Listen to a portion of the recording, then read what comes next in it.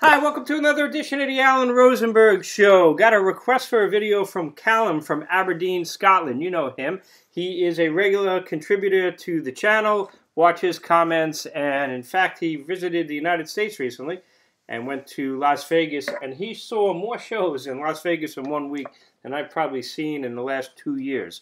So uh, he sent me a report, which was really, really cool. But he sent me a request and he called it One and Done, and it's actually a really cool idea. So the idea is artists that I only need one album, maybe artists that you only need one album from as well. Uh, a greatest hits, a compilation album. Now that might not sound like such a big deal, but it kind of is when you're a collector like me who buys physical media, and I have 5,374 albums right now, CDs or vinyl uh, in my catalog, plus another 300 or so backlog. And I'm, when I'm a fan, I get a lot, if not everything, by an artist. I have 436 Stones albums right now. I'm looking at a cheat sheet. 64 Who, 68 Kinks, 82 Jethro Tull albums, not including Ian Anderson solo, 85 Springsteen, 90 Dylan albums. You get the idea. If I like an artist, I'm going to get most, if not all, of their albums. So the idea that I only have one album by these artists is kind of an interesting concept. One and done. Thanks, Callum. Without further ado, let's get into it in alphabetical order, but we're going to start with one on vinyl. You probably never even heard of this guy, but if you're an old timer like me, you might. Buzzy Linhart, he was in the 70s, and he wrote that song, You Got to Have Friends. Uh, Bette Midler covered it big time. Anyway, that's just an original uh, cutout that I bought back in the 70s, and I love it, but I just never felt like I needed the need, never had the need to get any more Buzzy Linhart. That's the idea. Let's go into modern times. ABBA, ABBA Gold. What can I tell you? I've bought some of their albums, and it's just not for me. I'm glad to have ABBA Gold, but I just never listened to ABBA, and it's just not really my thing. So let's stick ABBA over there. Uh, the Alarm. Some people, uh, I remember people were comparing them to U2 back in the day. Really good band. I actually saw them. Uh, and this is a really good album called uh, Standards. But I just never had the desire to get any more albums from The Alarm. Uh, the Animals, they're a classic case of a lot of compilation albums. This is one that I have called The Story of the Animals.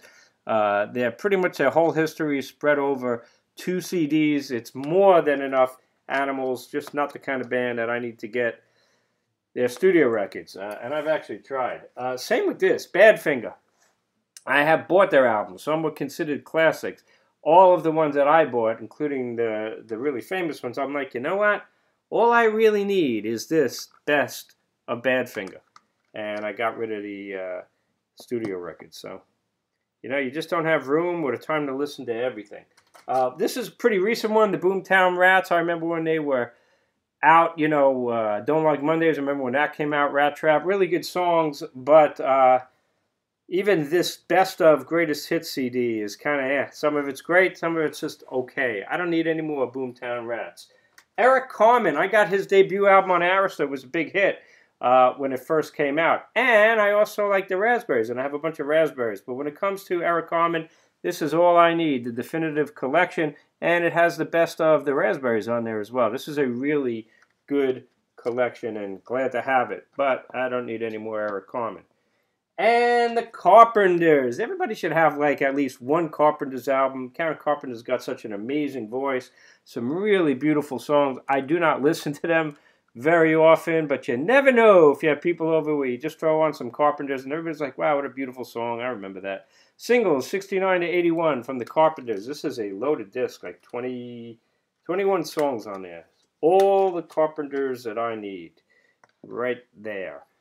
How about Clannad, a recent purchase? I think I got this last year. Greatest hits. I didn't even know they had a lot of greatest hits.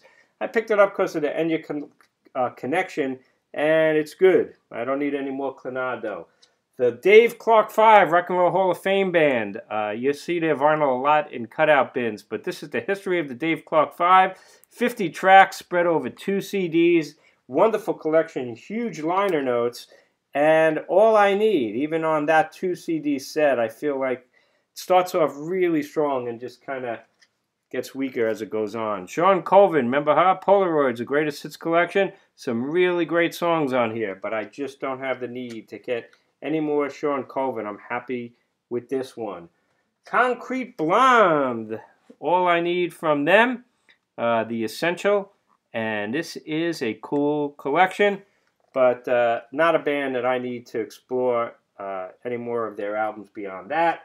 Uh, their debut album right here, Counting Crows, what was it, August and everything. I saw them on that on around that time. Great album, really cool sound.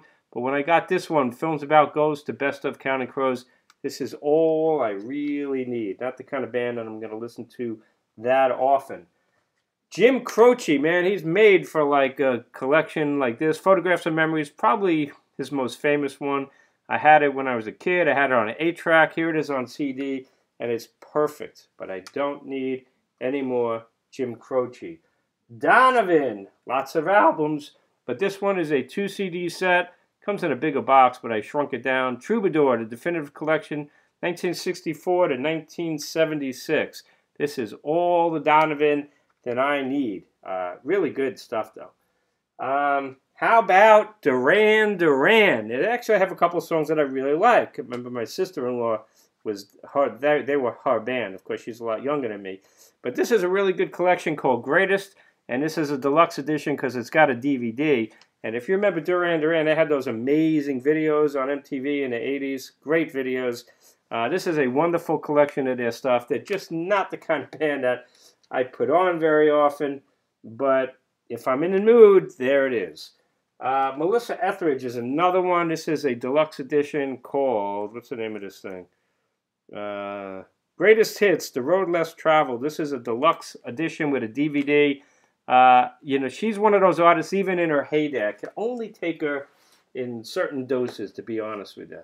Um, but she's good.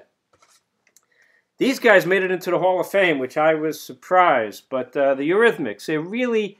Uh, I'm not saying Dave Stewart works with Mick Jagger. I'm not saying they're huge, not hugely talented in their own way. They're just not really kind, my kind of sound. And uh, all I need from them is the greatest hits. So uh, Eurythmics. Let's keep going. We're going at a good pace. This one might surprise some people, but it's true. I had their debut album, great debut album. But then when I got the greatest hits one uh, called Let It Rock, uh, the best of the Georgia Satellites, I kind of found that I didn't need that one anymore, make space. And this is really all I need from the Georgia Satellites, uh, Let It Rock, the best of the Georgia Satellites. Mighty fine band, though, they really are. Uh, let's keep going. How about Gorillaz? You know, I'm a fan of Damon Albarn and and Blur. Uh, this is the band that made it big in the United States, uh, the cartoon band. A lot of really cool tracks. Uh, the singles collection, 2001 to 2011, is the only one that I really need from Gorillaz. Arlo Guthrie. I used to have Alice's Restaurant. Now, this is enough for me. This is the best of Arlo Guthrie and it's got Alice's Restaurant Massacre on there, and City of New Orleans, and really all I need from Arlo Guthrie. Let's stick that over there. How we doing, guys? We're doing good. This one might surprise some people. He's an artist that I appreciate. I enjoy some of his stuff, but this is all I need from Lenny Kravitz' greatest hits. Um, I, I, don't know what it is. I, I, I got his debut album, Let Love Rule, at that time, and then I dumped it just something about Lenny Kravitz that I can only take in smaller doses, and that's enough of a dose for me right there. Loverboy, Canadian band, some really big hits. I remember when I was in college working for the weekend and loving every minute of it, Hot Girls in Love. Then just not the kind of band that I ever really listened to. And if I needed to, Loverboy Big Ones is all I need. Uh, I'm a fan of the Neville Brothers, have a bunch of their stuff. For whatever reason, the Meters, this is the only Meters album I have. Uh, this is called The Very Best of the Meters on Rhino. Um, not adverse to exploring them more, but uh, this is probably all I really do need from them as well. Let's keep going. A lot of CDs here. There's about 40. Mike and the Mechanics, Mike Rutherford, offshoot of Genesis, the album called Hits. He's got some really good stuff, different singers. All I Need is a Miracle. You know a lot of these songs. Living Years is incredible. But this is the only Mike and the Mechanics album that I really need. And I'm going to say the same thing. This might surprise you. The Monkees. I'm just, uh, all I need from the Monkees is their greatest hits. And this is a one of many uh, in, that are available. This is 20 songs, and it's fun stuff. I remember watching the TV show. It's still on TV every once in a while. I'll catch it. I'm like, wow, how did I ever really watch this back in the day? It's so silly. But the Monkees. I got a bad cold, so bear with me. Uh, how about Nilsson? This is Nilsson's greatest hits and a really good collection uh, of, I don't know, how many songs are on here? 21 songs. This is the only Nilsson that I really need. I did have um, Nilsson Schmilsson back in the day, but just don't need it. You know, when you have limited space and I got close to 6,000 albums, I do have to make space sometimes. And uh, Ted Nugent, not an artist that I'm really a fan of.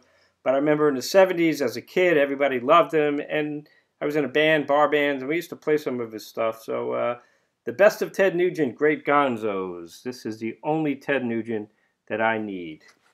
Um, again, personal taste, you know. Laura Nyro, a lot of people love Laura Nyro. I have tried, man. I've gotten some of her records uh, I just find it to be okay. And uh, this is all I need from her. Time and Love, The Essential Masters from Laura Nyro. And again, just personal taste. Uh, you know, I could tell a story about Steve Harold. Only needs one Rolling Stones album. You know, he needs one compilation. That's all he needs from the Stones. And he proudly told that to a guy who's got 40, 436 Rolling Stones albums. But it's not right or wrong. It's all what you like. Uh, I got this. I had the great album covers, the Ohio Players, and this is one called Gold. And this is the only CD that I really need from them. Um, you know, every once in a while I can get into Parliament Funkadelic. I have a bunch of their stuff, but Ohio Players, that's the only one I need. This one might surprise people, but it's true. Quicksilver Messenger Service. I had, um, what was it, Happy Trails. Um, to me, they're just okay. I know, legendary uh, San Francisco band. For whatever reason, you know, I love Fresh Air, but uh, beyond that, this is enough for me. Quicksilver Messenger Service, one of those co uh, compilations, classic masters. Uh, let's keep going. How about the, remember this artist, Kim Richey? She's pretty good, uh, the collection. But Kim Richey, this is the only thing that I need from her. There's only so much time in the day, so much music, so little time. How about Seals and Crofts? They're a classic. Uh, my wife used to have Summer Breeze, I remember, but then when I got the greatest hits, didn't need Summer Breeze anymore. This is everything I need right there from Seals and Crofts. All right, Pete Seeger, the Essential Pete Seeger. This is a really cool collection. Not a guy that I listen to very often, but uh, I guess you could say everybody needs a little Pete Seeger in their life. And how about the specials? I have gotten into them on occasion, but wound up dumping uh, some of their albums and uh, just kept the singles collection, which is really good enough for me. Uh, but this is great, you know, Ghost Town, things like that. Awesome, awesome collection for what it is. We're getting there. We're getting towards the end. Stiff Little Fingers. This is a really cool import. All the best. This is a double CD. It was on One Way Records, I guess. And really good band, but just not the kind of band that I need that much more from. How about Sugar Ray? I saw them open up for the Stones back in the day, and I saw them a couple years ago. I think last year, actually. Still really good. Uh, what's his name? Mark McGrath. But all I need from Sugar Ray is the best of Sugar Ray. And some of these bands, like this one, might surprise you, but it's true. The Temptations, all I need is a good compilation from them, and this might be amongst the best. Gold, which is a two CD set. Um, I actually bought a box set of theirs, uh, which was a pretty big box, and then I realized there was so much stuff on there uh, that this was sometimes less is more, and this was more for me. And UB40, We've got two more left. The very best of UB40, 1980 to 2000. Really nice collection. Uh, it's got the duet with uh, Chrissie Hynde and others. This is a fun collection. It's good stuff, uh, but I really just don't need much more from UB40. And the very last one, I picked this up a couple years ago, War. And the greatest hits of War, Eric Burdon, After the Animals. This is a really good first disc, and then there's a second disc of remix remixes that uh, just don't need at all. So let's stick that up there, and hopefully we don't have a collapse.